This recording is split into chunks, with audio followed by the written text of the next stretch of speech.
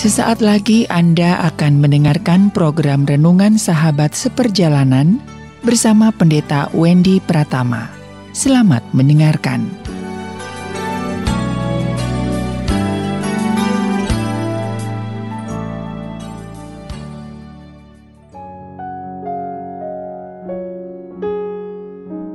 Selamat berjumpa kembali di dalam layanan audio Sahabat Seperjalanan. Hari ini adalah hari Minggu 6 Maret 2022. Tema renungan dan saat teluh kita dengan judul Kelebihan yang berlebihan. Kelebihan yang berlebihan. Firman Tuhan terdapat dalam 1 Korintus 13 ayat yang keempat. Demikian bunyi firman Tuhan. Kasih itu sabar, kasih itu murah hati, ia tidak memegahkan diri dan tidak sombong. Mari kita berdoa. Bapa yang di dalam sorga tatkala Tuhan memberikan anugerah-anugerah kelebihan ke dalam hidup kami, maka kami dipanggil hidup tidak berlebihan. Dengan demikian kami menjadi benar kehidupan kami di hadapan Tuhan. Dalam nama Tuhan Yesus kami berdoa. Amin.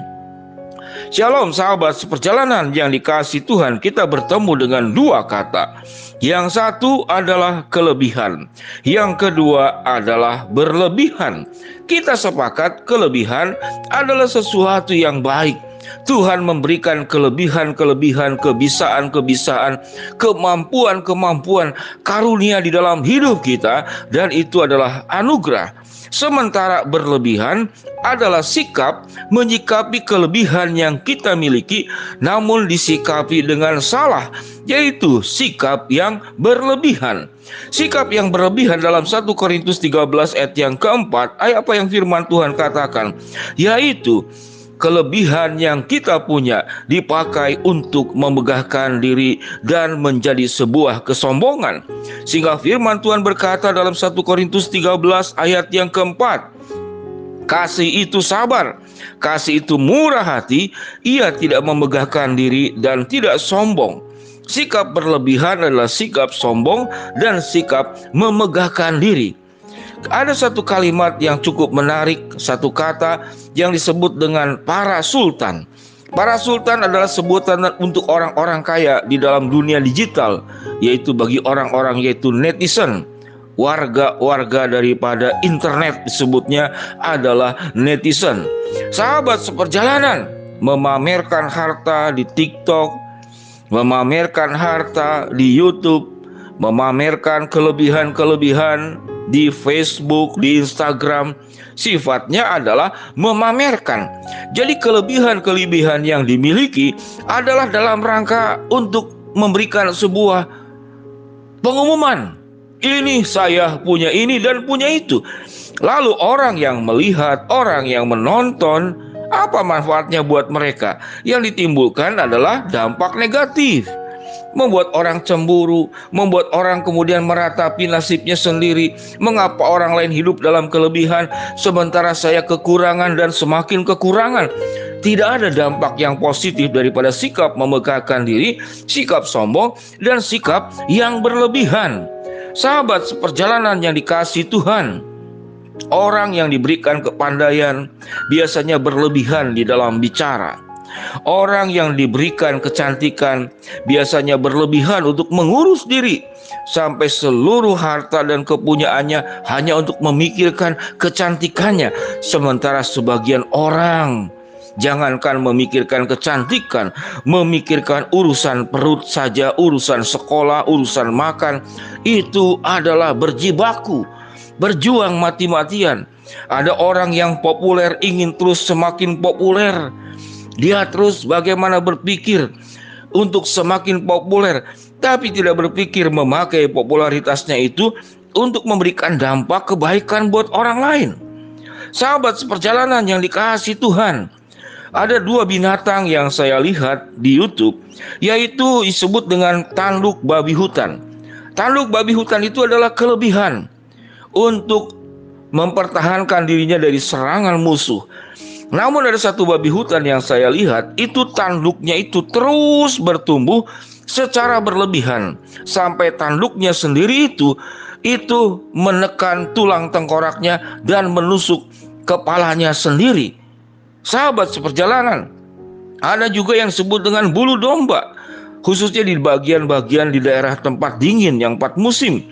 Bulu domba itu sedemikian tebal dan ada satu domba yang sedemikian tebal bulu dombanya dan bulu domba itu punya zat lilin.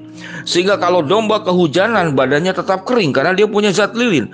Namun karena bulu domba ini tumbuh terus terlalu tebal, akhirnya menjadi sarang belatung dan belatung itu memakan tubuh daripada domba tersebut. Ada dua contoh yang kita lihat. Tatkala tanduk berlebihan itu bisa menembus tengkorak kepala sendiri. Tatkala bulu domba itu berlebihan yang bisa dibuat untuk wall dan pakaian itu menjadi sarang belatung. Sahabat seperjalanan yang dikasih Tuhan, mari kita memikirkan tentang kelebihan-kelebihan yang kita punya. Tatkala ma manusia di dalam firman Tuhan dalam kitab kejadian pasal ke-11 diberikan kemampuan, diberikan kecerdasan, namun di dalam kisah tentang menara Babel, apa yang dilakukan oleh manusia pada kejadian pasal 11, mereka di tanah siniar ingin mendirikan menara yang puncaknya sampai ke langit. Ada sebuah sikap kesombongan karena yang dimilikinya. Buat apa membuat menara sampai puncak ke langit ingin menyamai yang maha tinggi dan itu juga yang dilakukan oleh setan yang dulunya adalah penghulu malaikat. Akhirnya jatuh di dalam dosa. Demikian juga menara Babel tatkala didirikan apa yang firman Tuhan katakan Tuhan berkata dalam ayat ke-6 pasal ke-11 kejadian, apa pun yang direncanakan oleh engkau tidak pernah akan terlaksana. Lalu kemudian Tuhan menyerahkan mereka, dikacaukan bahasa mereka sehingga mereka tidak mengerti bahasa mereka satu dengan yang lain. Sehingga pembuatan menara Babel menjadi terhenti. Sahabat seperjalanan yang dikasih Tuhan, kelebihan-kelebihan yang kita punya. Tatkala kita tidak pakai dengan sebaik-baiknya dan kebenar-benarnya, maka apa yang firman Tuhan katakan, apa pun yang direncanakan tidak akan terlaksana dan Tuhan menyerahkan mereka dan mereka dikacau balaukan. Sahabat seperjalanan, kalau kita memiliki kelebihan, maka janganlah kita memegahkan diri dan janganlah kita menjadi sombong. Apa sikap yang kita harus lakukan? Yaitu kasih itu murah hati. Orang yang diberikan kelebihan Allah maka seyogianya dia menjadi orang yang murah hati sebagaimana Kristus murah hati sebagaimana Allah murah hati memberikan sebuah yang terbaik kepada kita Tuhan pun tidak berlebihan menciptakan panas matahari. Coba kalau lima kali lipat dari panasnya matahari saat sekarang. Kita akan meninggal semuanya. Tuhan pun yang maha kuasa secara proporsional dan berimbang memakai kelebihan-kelebihan yang dimilikinya.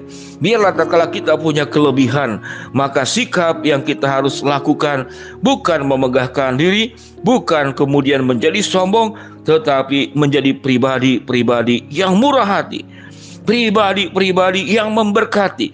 Orang yang tidak punya kelebihan mau memberkati apa? Orang yang tidak punya kelebihan mau memberi apa? Tetapi sewaktu Tuhan memberikan kelebihan, maka kelebihan itu tatkala ditumbuk pada dirimu sendiri itu akan mencelakakan. Sama dengan babi hutan yang tanduknya menusuk tulang tengkoraknya sendiri. Sama dengan bulu domba yang terlalu lebat akhirnya menjadi tempat belatung dan belatung itu memakan tubuhnya sendiri kelebihan yang kita punya. Alkitab mengatakan, biarlah kita menjadi pribadi yang murah hati, bukan untuk memegahkan diri, bukan untuk kesombongan, sehingga kelebihan yang berlebihan harus dikembalikan buat kemuliaan Tuhan. Dan kelebihan yang kemudian dimiliki oleh kita bukanlah untuk memamerkan diri untuk kemudian memuja diri dan menjadi iri hati dan hal yang negatif buat orang lain. Mari kita berdoa. Bapa yang di dalam sorga hambamu berdoa buat sahabat seperjalanan yang sakit Tuhan jamah sembuhkan, yang sedang di dalam masalah Tuhan bukakan jalan, yang sedang berdoa mengharapkan sesuatu, Tuhan akan kabulkan sesuai dengan waktu, rencana, dan kehendakmu. Jadikan kami pribadi yang tatkala diberikan kelebihan, tidak berlebihan, namun menjadi pribadi yang murah hati. Dalam nama Tuhan Yesus kami berdoa. Amin. Shalom sahabat seperjalanan yang dikasih Tuhan. Happy Sunday. Tuhan memberkati kita semua. Amin.